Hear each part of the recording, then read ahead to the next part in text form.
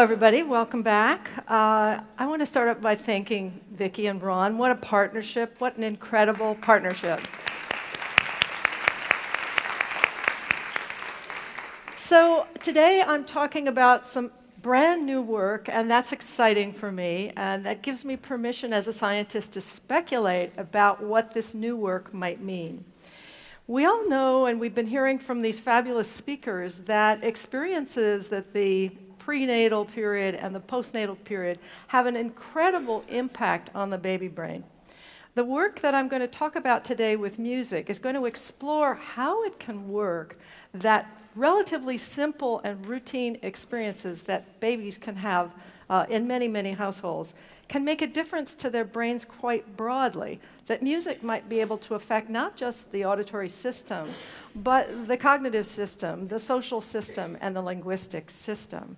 And so we want to get to the mechanisms underlying these things. So let's see if I can convince you of all of that. Um, the disclosure, I have no disclosures. Uh, I co-direct an Institute for, the Learning, for Learning and Brain Sciences at the University of Washington. We've been working out how the brain of the baby gets built, and the tools that we've brought to bear in the past 10 years are very, very magical and wonderful brain imaging tools that we can use with little babies. So here you see a little baby in a very big machine. Uh, this is magnetoencephalography, and you'll see a bigger photo of this later. Uh, basically, the baby is free to move. It's a noiseless machine. Uh, we can track the baby's head and let the baby experience something while we see a movie produced in the brain as the neurons do their work. So we've been looking at the effects of experience on brain function, We've also been doing studies that look at structures in the brain. So, how is it that the areas of the brain responsible for hearing, responsible for seeing things, responsible for touch, how are they building up? And the neural connections, these wonderful superhighways that are running between areas to allow them to communicate.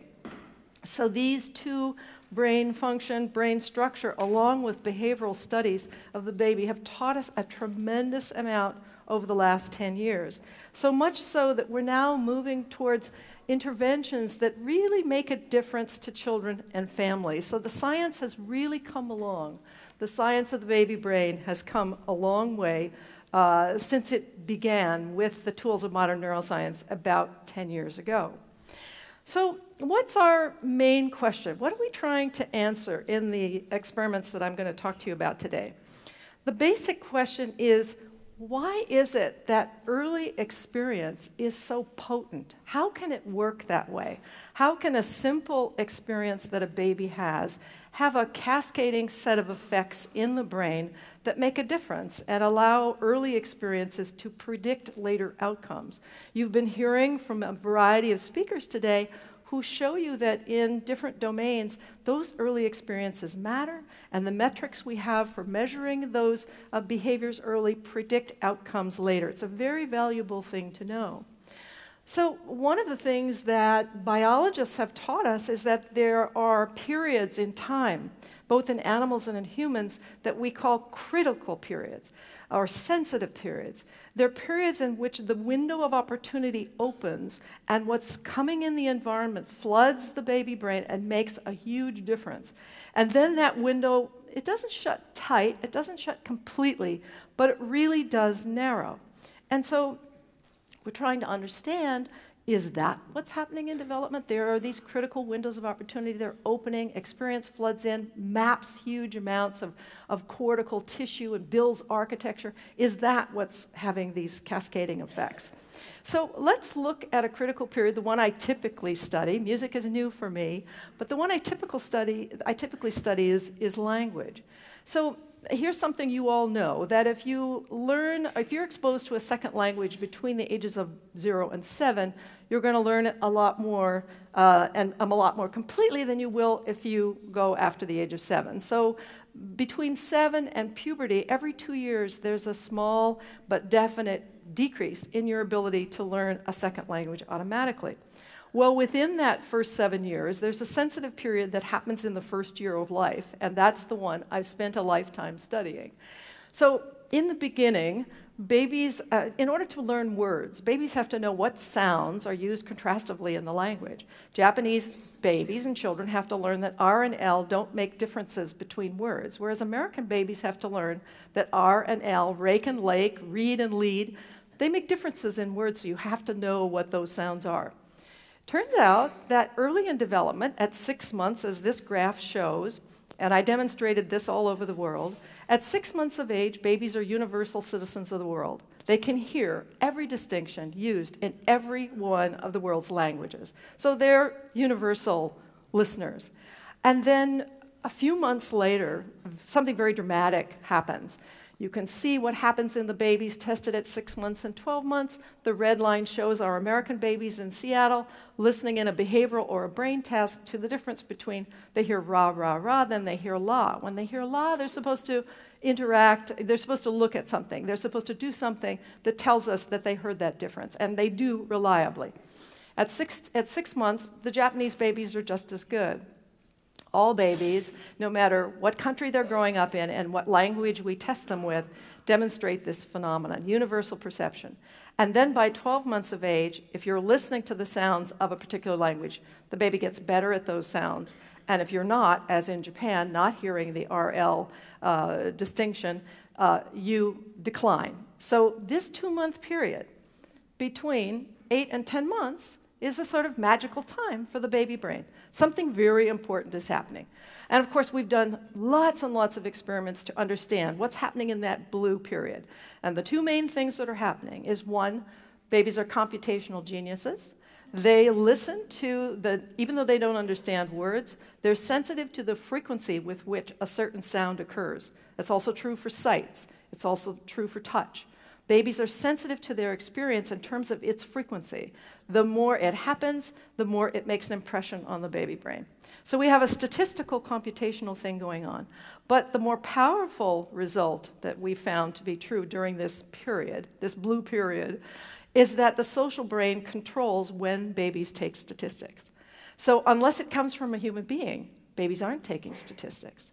We proved that by exposing babies to Mandarin, Mandarin Chinese for the first time in that period between 10 and 11 months. And we demonstrated that only when babies were exposed to a live tutor, a live speaker of Mandarin, did they learn. When they were exposed over a television set or when they heard it just through an audio, you know, an audio channel, they learned nothing. They were, in fact, comparable to babies who were in the control group and had 12 sessions of just English. And so all those four groups, the live, the uh, TV exposed, the auditory exposed, and the babies in the control group were tested after their experiences, and only the group exposed live had shown learning. And in fact, they were such good learners, they were completely statistically equivalent to the babies in Taiwan who'd been listening to Mandarin for, by that time, 10 and a half months. So, experience of the right kind at the right time has an amazing effect on the baby brain, and that's how critical periods, um, that's how critical periods behave. So at that time, so we've been doing this over a number of years, I had a doctoral student who happened to be a concert pianist, Christina Zhao, very, very, very smart woman. And she said to me, what would happen if we exposed babies to music socially during that period. If we brought them in for the same 12 sessions and there with their parents and other kids, and kids love these sessions, what happens if they listen to music and interact with it? What effect would it have on the brain? Uh, would it affect just their musical acumen, or would it affect something more generally? Now, as a concert pianist, she'd been looking at all the studies that say if you're exposed to music between the ages of zero and seven, that's if you've had lessons, if you've done it in a concerted way, you have skills as, as an adult that you don't have if you're a non musician. But as she told me, those studies are flawed because we don't know whether there are genetic differences between musicians and non musicians. There's never been a randomized control experiment. And so she said, I'm going to do the first one. And she did. Her goal was to expose babies to 12 sessions in a randomized control trial in which half of the babies were randomly assigned to the musical group and half of the babies were in the control group. So I'll show you in a movie in a minute, but just let me explain. Babies in the music intervention group did things with their hands to keep time with the rhythm. So babies experienced waltzes, everything from Blue Danube to Take Me Out to the Ball Game, that represent that triple rhythm, that triple meter. It's a difficult meter for young children to master, so we thought this would be a perfect one for them to hear. So they were tapping it out with drums or with their feet or with their hands. They're watching the other babies, they're enjoying the social nature of it. And kids in the control group also did motor things. They had toys to play with and things to hammer their drums and things with social with their parents, exactly the same, except no music. So let's look at the movie. Can you play that movie?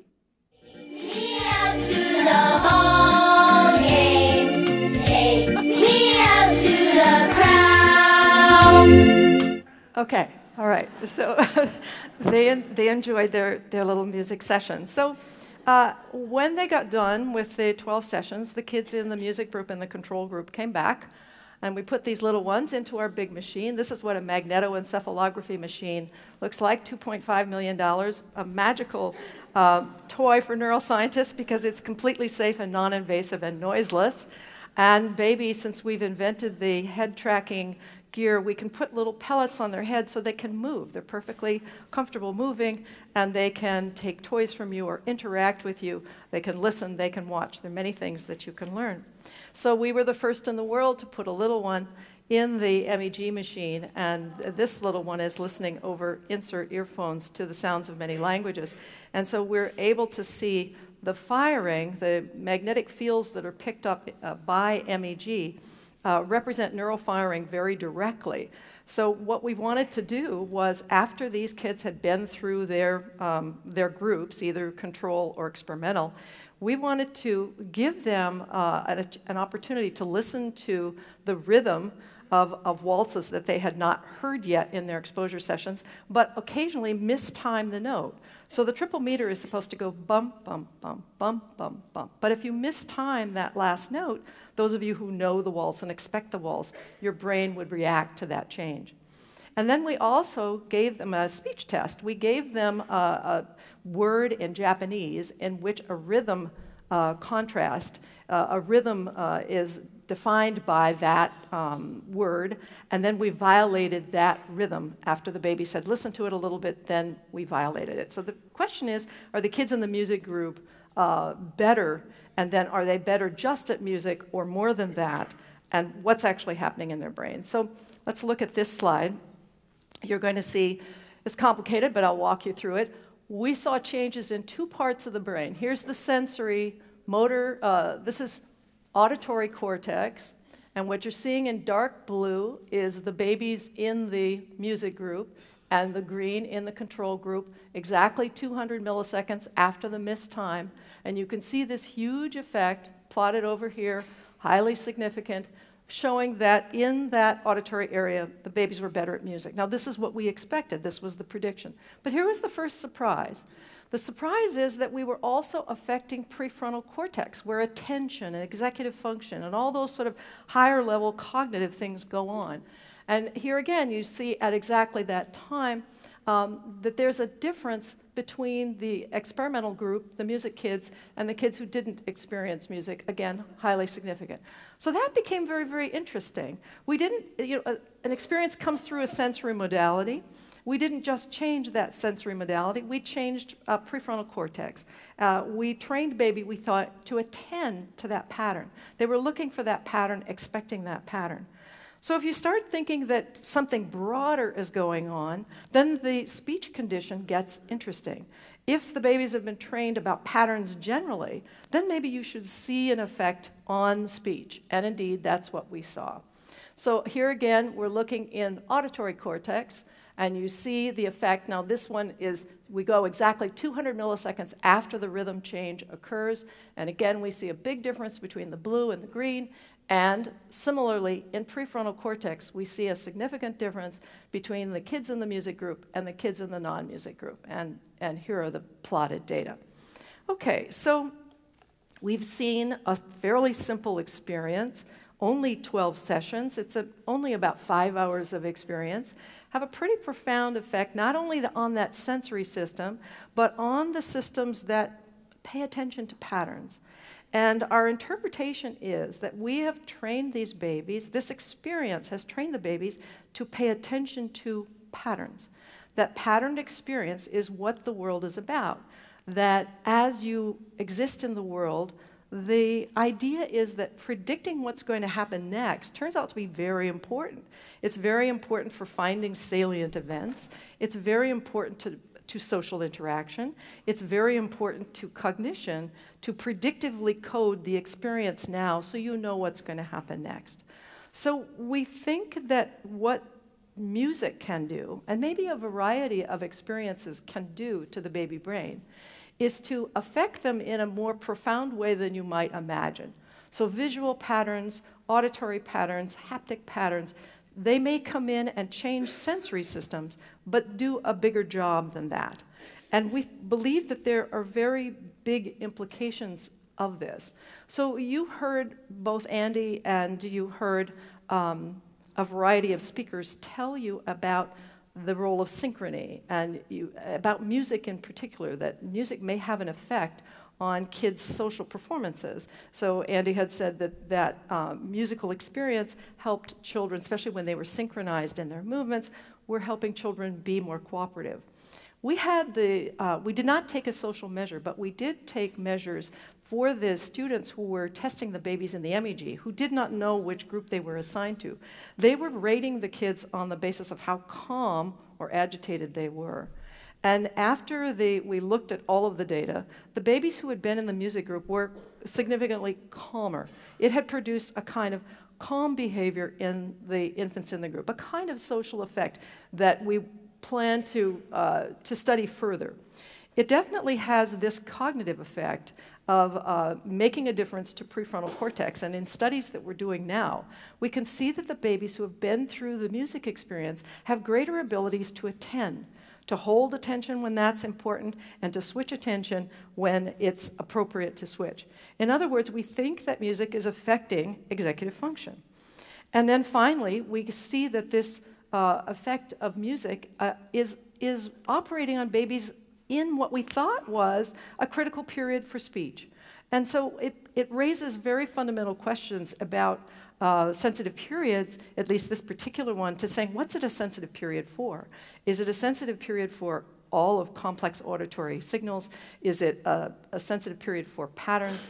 And would visual patterns do the same? So it has those uh, basic questions, but it also affects what we think about practical, uh, our knowledge about the routines that uh, we, we've been thinking about with regard to parent-infant interaction. Again, many speakers emphasize the daily routines of parents and how they interact with kids. Even simple things like peekaboo, the idea that babies live for the expectancy. It's very fun to predict the future. It's very fun to know that you're engaged in something where the next thing that's going to happen, you know, you're delighted about it. In fact, I think kids seek out those predictable patterns because it makes the world less chaotic. So, for a moment, think about the kids who are uh, being reared in a, a chaotic environment, a toxic stress environment. Where are the predictable patterns? Uh, where is the delight in understanding um, what's coming next, uh, of seeking those uh, routines and expectancies that bring not only delight uh, from an, a, an, emotional standpoint, but a cognitive boost? And I think that what we'd all agree is that a chaotic world and uh, toxic stress would not produce the kinds of things that uh, simple routine experiments uh, do. So at the moment, we're engaged in uh, tests in which we examine whether or not music could modulate stress. We're not only doing that in Seattle uh, with babies, but we're uh, beginning to plan some collaborative work with uh, Jack Shonkoff's center uh, at, at Harvard, and where we're using a mouse model. Mice, too, are very sensitive to um, auditory experiences. There are sensitive periods, and it's possible that we can modulate the effects of stress with um, experiences like music. So the bottom line here, whoops, went too far. The bottom line is that we demonstrated that early music experience, it does enhance uh, their ability to detect and extract patterns, not just for the ones they heard, but things more broadly. and that the effects go beyond sensory systems to affect cognitive systems, complex pattern recognition, and that would promote success at a variety of cognitive tasks. So we're pursuing this as a postulate about what these studies show, and I love the result that art and science may yet be unified at a time in which our schools are subtracting art and music and things that have to do with play and exploration and synchronous activity among kids and with kids and adults. So I think these small, uh, relatively small designed experiments can have very, very potent effects on our understanding, definitely on children's brains, and that that will be good for all of us. So thank you very much.